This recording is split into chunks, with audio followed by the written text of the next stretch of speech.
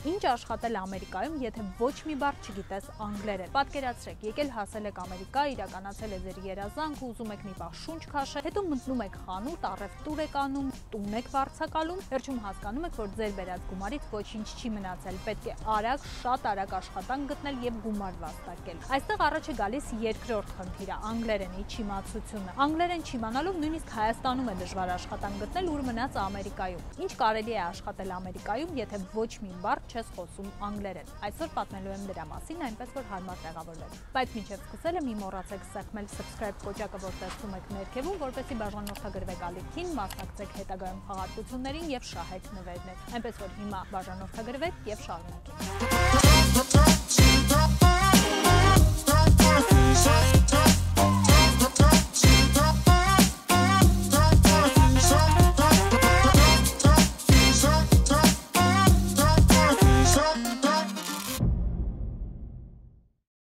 շարունակենք։ ուզում եմ խոսել մի կարևոր բանի մասին։ Եթե պատրաստ չեք աշխատել վաճառող, մատուցող, խոհարար, տաքսուվարորդ եւ մտածում եք, որ միշտ պետք է տնորեն լինեք, ապա ի սկզբանե մի եկեք Ամերիկա։ Որովհետեւ եթե չեք գալիս հստակ աշխատանքի առաջարկով, անգլերենին գերազանց իմացությամբ կամ էլ գումարի մեծ պաշարով, որպեսզի կարողանաք ինչ-որ ժամանակ սեփական միջոցներով ապրել, բիզնես հիմնել, ապա այստեղ ստիպված եք լինելու գոնե սկզբնական շրջանում անել այն աշխատանքը, որը կգտնեք։ Հակառակ դեպքում, մինչև սեթև թեք, ձևեր թափեք, փորձեք հասկանալ, թե որ աշխատանքն է ձեզ համար ավելի հարմար, ձեր ունեցած գումարը կվերջանա եւ դուք չեք կարողանա վճարել հաջորդ ամսվա բնակարանի վարձը։ Ես Ամերիկայում նկատեցի, որ որոշ մասնագիտություններին վերևից նայելու սովորությունը ունենք հիմնականում մենք հետխորհրդային երկրների ժողովուրդներս, որովհետեւ այստեղ Ամերիկայում լրիվ նորմալ են վերաբերվում ցանկացած տիպի աշխատանքի։ Մի խոսքով, եթե գալիս եք Ամերիկա, չունեք գումարի մեծ պաշար, որպեսի սեփական գործ սկսեք եւ չգիտեք անգլերեն, ապա պատրաստ եղեք, որ սկզբնական շրջանում գոնե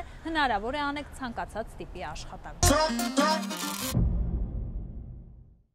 Այսօր ես պատմելու եմ ոչ միայն աշխատանքի տեսակների մասին, որոնք հնարավոր է անել չիմանալով անգլերեն, այլ նաև պատմելու եմ աշխատավարձերի մասին եւ գումարի չափի մասին, որ հնարավոր է վաստակել այդ գործը անելով։ Աշխատավարձի չափերը ես փորձել եմ ճշտել կամ ընկերներից, ծանոթներից, ովքեր հիմա ներկա պահին զբաղվում են այդ աշխատանքով, կամ էլ վերցնել ամերիկյան ճշտված, փորձված կայքերից։ Բայց եկեք ֆիքսենք մի բան, որ աշխատավարձից հետագայում դուրս են գալիս. հարկեր, հավելյալ ծախսեր, բոլորս գիտենք, որ Ամերիկայում ավելի թանկ է եւ բնակ բնականաբար 5000 դոլարը Ամերիկայում նույն արժեքը չունի, ինչ որ ունի օրինակ Հայաստանում։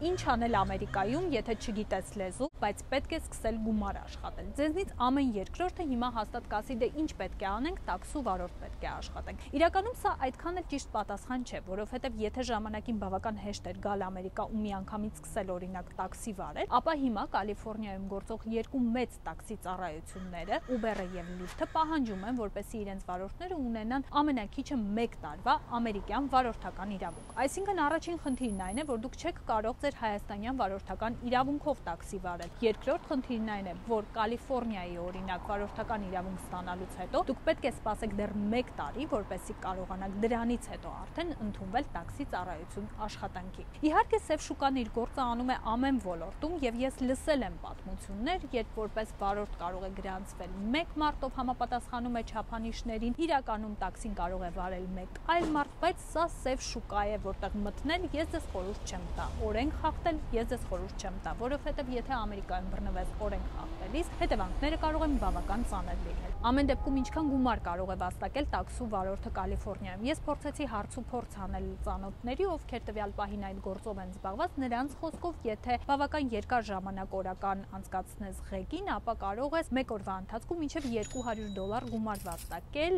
եւ ամսվա կտրվածքով այդ գումարը կարող է լինել 5000 դոլար, բայց նորից ենք ֆիքսում, որ հետագայում այս գումարից դուք վճարում եք հարկեր, հավելյալ ծախսեր եւ այլն եւ այլն։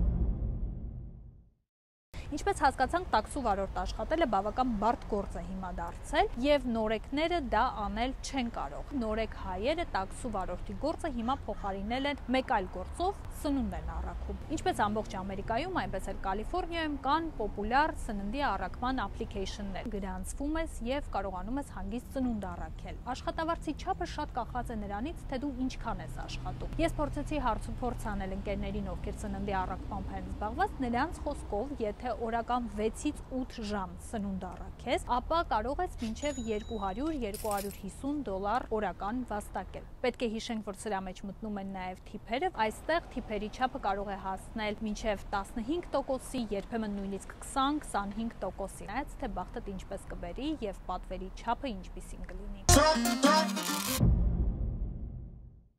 Ինչ վաճառող, ինչ մատուցող, ինչ խոհարար, ինչ տաքսու վարորդ, այսօր բոլոր նորեկ հայերը երազում են զբաղվել մեկ աշխատանքով, որը կապված է, այսպես ասենք, գյուղատնտեսության շատ սպეციფიկ ոլորտի հետ։ Բույսերի աճեցման, խնամքի եւ կտրատելու հետ կապված այս գործունեությունը, որի մասին կարծում եմ ուղի խոսել պետք չէ, որովհետեւ ամենակիչը Հայաստանում այս գործունեությունը անօրինական է համարվում, Կալիֆոռնիայում լրիվ օրինական է եւ շատ հայեր ովքեր որ գալիս են ու չգիտեն անգլերեն, սկսում են զբաղվել այս գործով։ Եկեք գրենք մի միֆ։ Եթե օրենքի դաշտում գործող այս այսպես ասած գյուղատնտեսական ոլորտում շարքային աշխատանք ես կատարում, օրինակ բուսերի կտրատմամբ ես զբաղվում, չես կարող աշխատել այն աստղաբաշխական թվերը, որոնք պատկերացնում են օրինակ Հայաստանում։ Հաջորդ աշխատանքը, որով շատ հաճախ զբաղվում են նորեկները, ովքեր բացարձակ անգլերեն չգիտեն, moving ընկերությունում աշխատելն է։ Ինչ է moving-ը։ Կալիֆոռնիայում, Ամերիկայում առհասարակ մարդիկ շատ հաճախ փոխում են իրենց բնակարանները, տեղափոխվում են մի տնից մյուս տուն եւ բնականաբար նրանց անհրաժեշտ են լինում աշխատակիցներ, ովքեր որ կօգնեն նրանց տեղափոխել կահույքը, իրերը։ Moving ընկերության ներկայացուցիչները զբաղվում են հենց այդ գործով։ Իհարկե այս դեպքում դուք պետք է ունենաք ֆիզիկական ուժ, պատրաստվածություն, բայց այս աշխատանքով զբաղվելիս հնար հնարավոր է նորմալ վաստակել օրական մինչև 20-25 դոլար։ Եվս մեկ աշխատանք, որ հիմնականում անում են տղամարդիկ, բեռնատար ավտոմեքենայի վարորդ։ Ես փորձեցի հարցուփորձ անել, հասկանալ աշխատավարձի չափը, բայց որևէ հստակ վերջնական պատասխան չստացա, որովհետև մարդկանց մի մասը խոսում է մինչև ամսական 8000 դոլար աշխատավարձի մասին, կան մարդիկ, ովքեր խոսում են նույնիսկ 8000 պլյուս թվերի մասին։